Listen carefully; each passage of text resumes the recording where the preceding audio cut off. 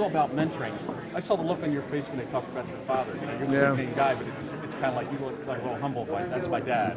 Well, I mean, uh, yeah, I think we all think uh, very highly of our dads in uh, many ways, but uh, to me, certainly, uh, Dad was uh, was uh, uh, was was my mentor, was uh, someone that I trusted, and Dad played that role for many other many other kids. I mean, he did in the minor league system when he helped develop guys, and, and he also reached out to every community he was in to use baseball to get in front of kids that uh, didn't have all the advantages that uh, you know that we all grew up with. So for some reason he felt a fatherly instinct and uh, he used baseball to, to carve out those relationships but, but he really taught about life when he did that.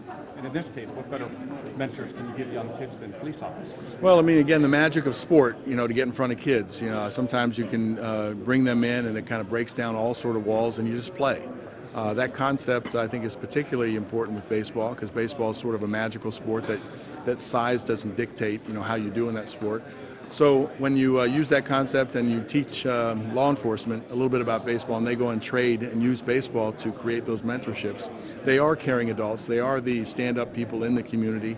The kids benefit from that. Law enforcement benefits from being seen in a positive way in that community. So it all works.